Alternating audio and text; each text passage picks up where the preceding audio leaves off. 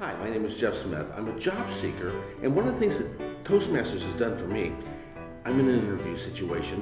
Uh, they've asked me a question, and I have a tendency to ramble on and on and on. But one of the things that Toastmasters teaches you is to be conscious of how much time you're taking and be aware of when to cut off.